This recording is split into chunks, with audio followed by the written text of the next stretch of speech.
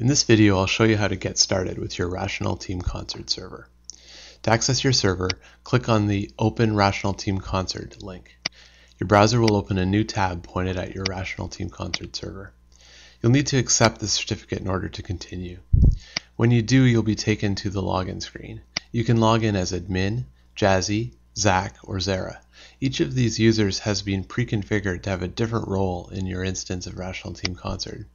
I'll log in as Jazzy. For all users, including Jazzy, use the password you provided when you provisioned the image. Once you've logged in, you can choose the Squawk project area. Squawk is a fictitious software development project that includes team members,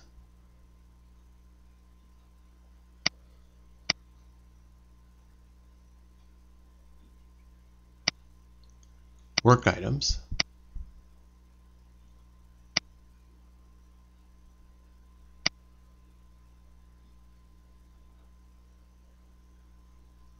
plans,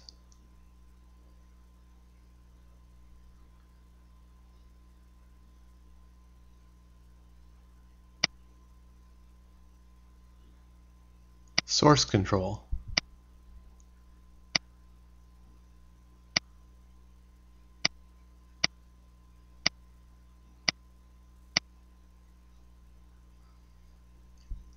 builds,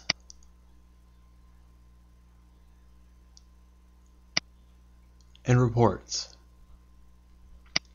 You can also use the Rational Team Concert client for Eclipse or Microsoft Visual Studio with your server. See the Getting Started section for information on downloading those clients from jazz.net.